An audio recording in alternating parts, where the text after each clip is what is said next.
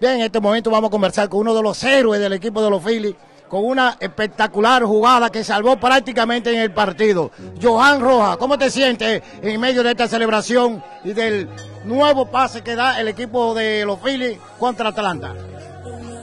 Increíble, de verdad que muchas gracias a Dios primeramente por estar aquí y wow, tremendo partido que lanzó Ranger Suárez, eh, después luego el bullpen vino a hacer su trabajo y todo en conjunto del equipo y para eso que estamos aquí, para salir al terreno a ganar.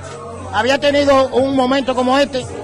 Hey, algo increíble, mi primera postemporada en mi carrera y de verdad que me lo estoy disfrutando al máximo.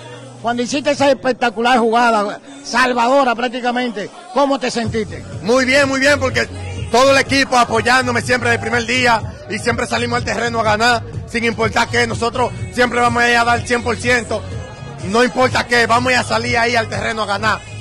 ¿Cómo define este equipo?